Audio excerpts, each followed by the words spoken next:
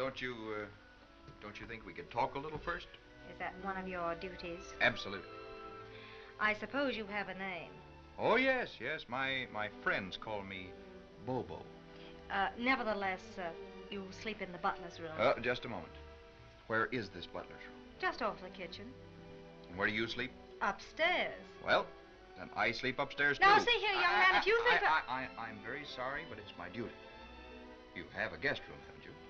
Yes. Well, whether you like it or not, I'm the guest. All right, to Mr. Uh, Bobo, to you. Bobo to you. A very charming house you have here, Miss Weatherby. I like it. Uh, I think English houses are adorable, don't you? Adorable. Crystal. Uh, is that one of your duties also? No, that is my own idea. Then let's stick to business. You won't like it. Well, I'll try if you don't mind. If I do, you'll hate me by tomorrow. Well, I'm not exactly fond of you now. Well, how could you be? You scarcely know me. You keep your eyes on me all the time? It's all in the line of duty, and I love my work. Uh, by the way, how much did you pay that bailiff Pay him. uh, for the job? You think you're very clever, don't you? Well, I, uh, I wanted that job very badly, really, I did. Mm, You needed the eight and sixpence a day. We have much in common, Mrs. Weatherby. Uh, this is your room. And uh, where is your room, if I may ask? You're not backward by any chance. Uh, it's my duty. Ah, the duty again. My room is just across the hall. You mean there?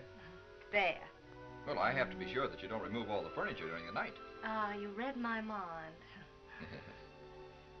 now you read mine.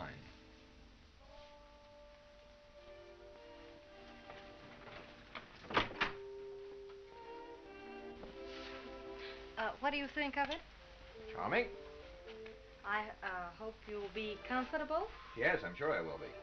Except, uh, any pajamas. No, that's too bad. Uh, perhaps I can lend you some. You can lend me some. Uh-huh.